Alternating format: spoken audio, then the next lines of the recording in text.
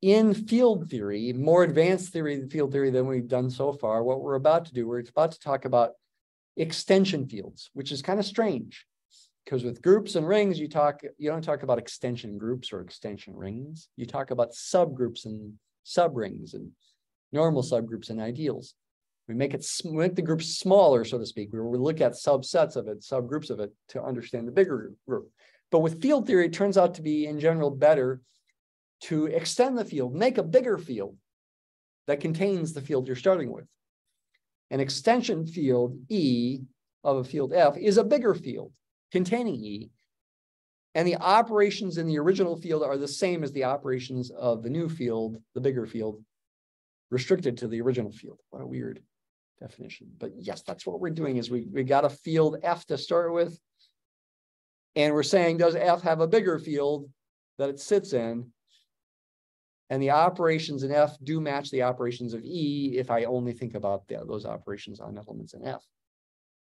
We are talking fields here, right? Not vector spaces. We are coming back to field theory now. Vector spaces are still relevant, though, as we will see. So it's a different emphasis. Not that we can't think about subfields. We've already thought about subfields, right? You know, the real numbers is a subfield of the complex numbers. That means the complex number is a field extension of the real numbers. As it stands, that doesn't seem like the hardest concept that we've encountered, and it's not, but then it starts getting harder.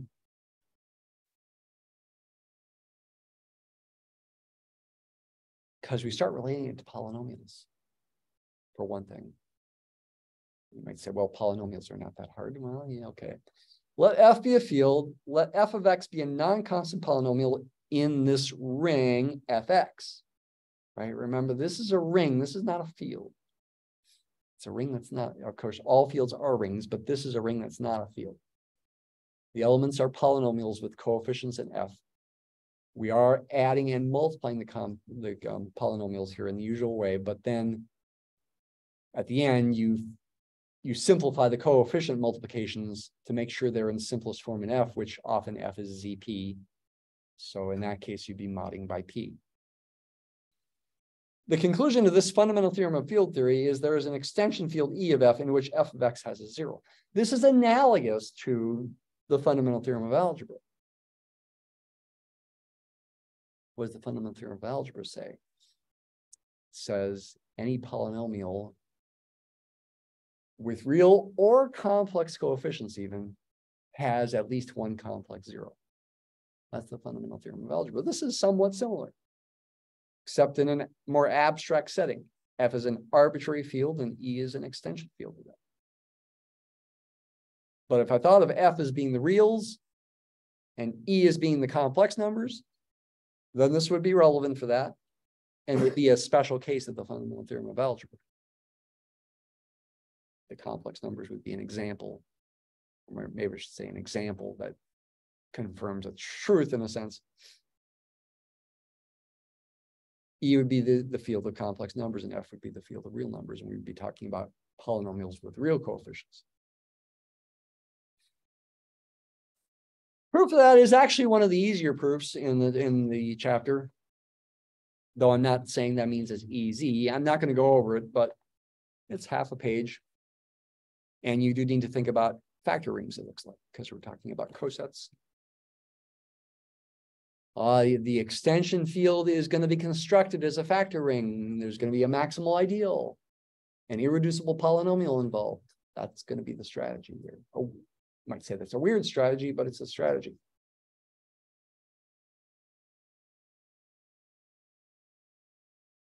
All right, here is the real de definition that gave me the most trouble. Splitting field.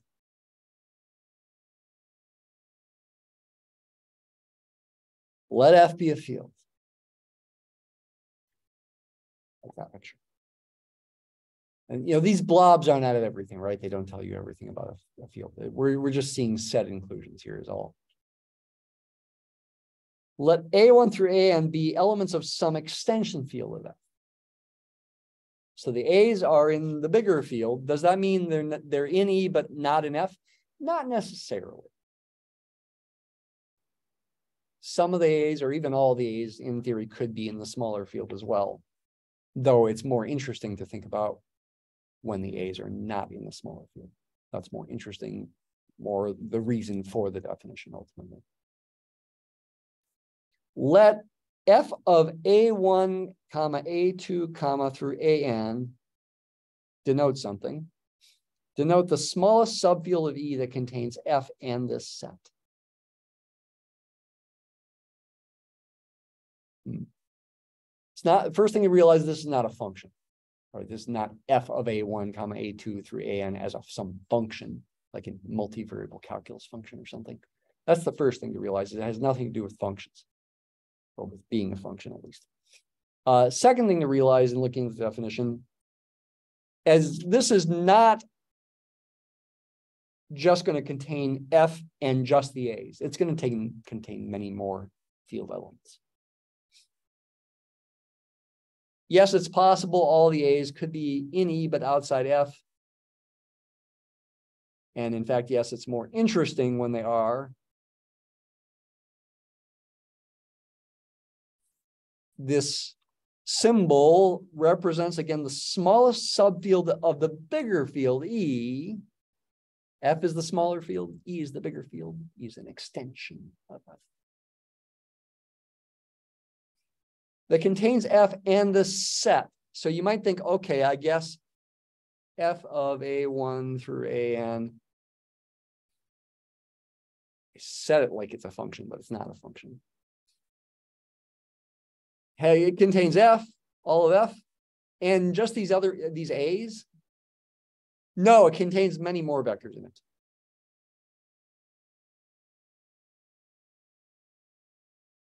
Can I draw this thing as the smallest subfield of E that contains F and all these A's? Well, yeah, but that doesn't tell you much besides the fact that it contains F and it contains all the A's. Doesn't tell you much. We do want mm-hmm. to understand this thing more. What's the, what's what's the what's the motivation for all this as well? The motivation is to try to solve polynomial equations. That's the motivation. We got to get there. But wait a minute, didn't we already talk about solving polynomial equations? Yeah, to some degree, but there's more to say.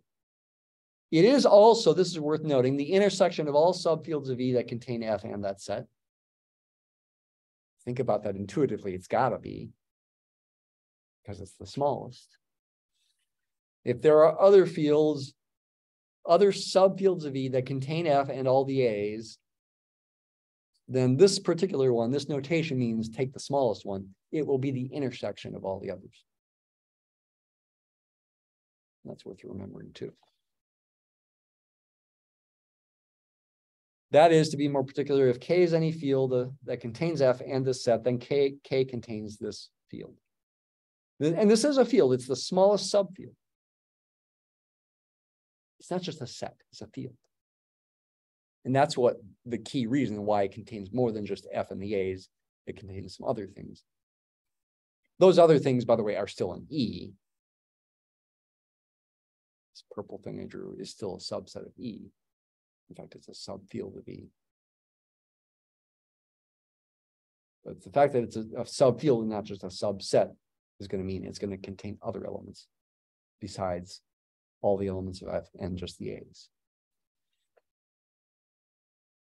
Finally, to the bane of my existence, the splitting field definition. Let E be an extension field of F.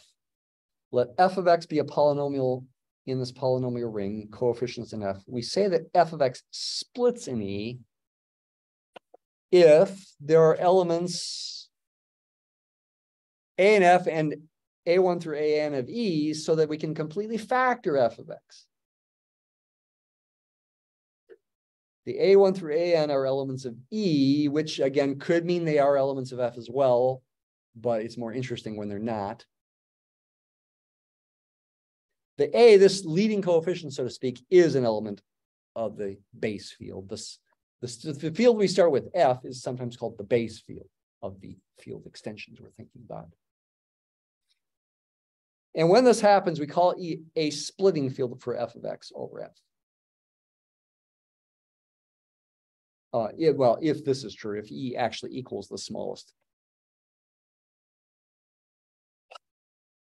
A little confusing, the smallest subfield of an even bigger field that is evidently not called E. That contains F and all the A's.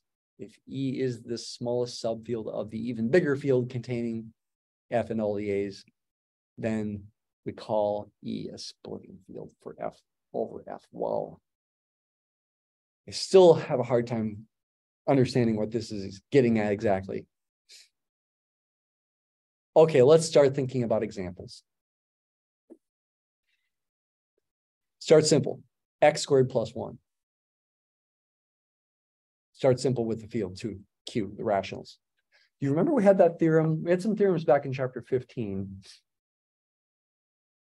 that said, for example, every ring with unity has Z as a subfield or Zn as a subfield, depending on the characteristic of the ring. Mentioned that one day. I looked at that. So every ring with unity essentially has either Z or Zn at its core. There was also another theorem in that same chapter that says every field either has a subfield isomorphic to ZP, where P is prime, or the rationals. So by thinking about either ZP, where P is prime, or the rationals, we are sort of thinking about the, the ultimate base fields. There's really no other base fields to think about, typically, at the, at the start of the subject, at least. So it makes sense to think of this as an element of QX. But of course, it's also uh, an element of ZX or RX or CX. We know this has no real roots and certainly no rational roots. Its two roots, if we're not thinking about modular arithmetic, are I and negative I in the, the complex plane, the complex field. Square root of negative one and negative square root of negative one, plus or minus I we see f of x splits in C, but C is not the splitting field for f over the rationals because it's not the smallest field in which f of x splits. This is instead q of i with parentheses, the set of all complex numbers. i is still the imaginary unit here. It's not an arbitrary symbol. The author doesn't say that, but that's what's meant. Set of all complex numbers where the R and the S, the real and the imaginary part, are actually rational numbers. That is the smallest subfield of the complex numbers that contains all the rationals and contains both plus or minus i, in which this polynomial splits. We can factor it completely. Likewise, x squared minus two in Qx has, it does split in the reals, right, as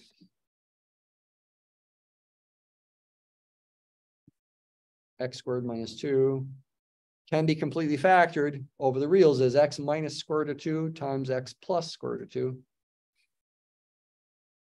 But the reals do not form a splitting field for this polynomial over the rationals because there's a smaller subfield in which this splits.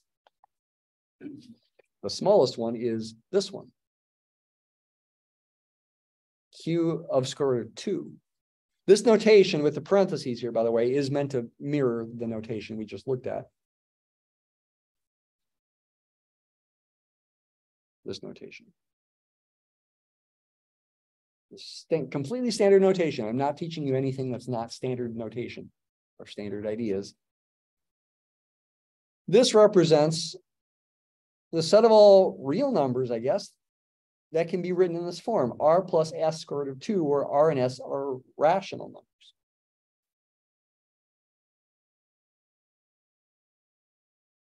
Yeah, this set does contain more than just the rationals and plus or minus i. It contains, for example, 2 plus 7i, or 5 seventeenths minus 13 31st I. It contains, in fact, infinitely many elements beyond those in the rationals and beyond plus or minus I. Same kind of thing happens here. You might wonder, are these really fields? Is Qi and Q of square root of two really a field? Let's do the square Q of square root of two one. This will be the last thing we think about today. Is this thing a field? They're claiming it's the set of all elements that looks like this, all numbers. Uh, linear algebra connection. It's a set of all linear combinations of the two numbers, one and square root of two. It's a vector space as well. But we're asking, is it a field? It's a vector space. Over what? Over what field? The rationals. Because I can multiply a rational number times this and get something in this form. It's not a vector space over the reals. Because if I multiply an arbitrary real number like time times something like this, I do not get something like this. I, for example, if the real number is pi, it's the a and the b when I after multiplication won't be rational. But yes, the, our main question for the moment is, is this a field? I'm not going to prove it's a field. it, it is. Um, for example, what is the multiplicative inverse of 1 plus square root of 2?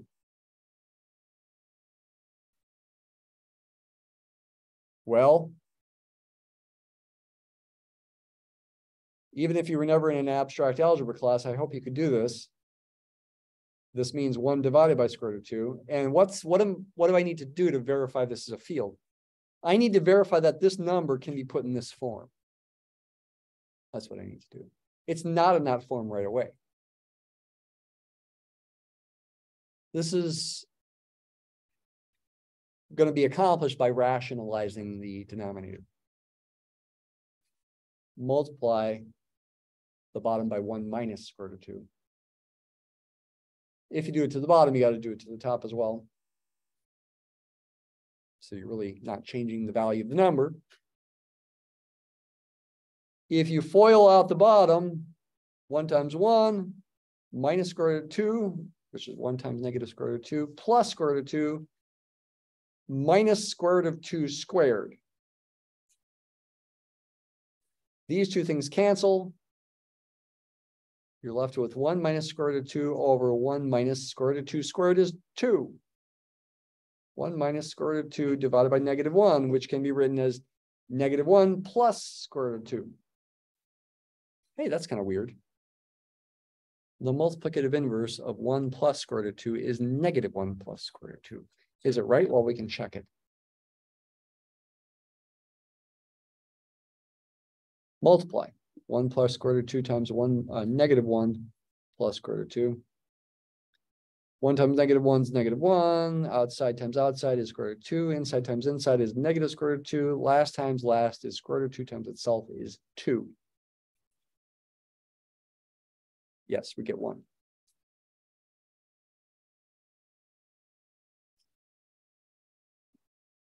So these things are fields actually what's a little more mysterious is why is that equality true in the first place, according to the definition of this kind of symbol. That takes proof. Okay. Have a good day.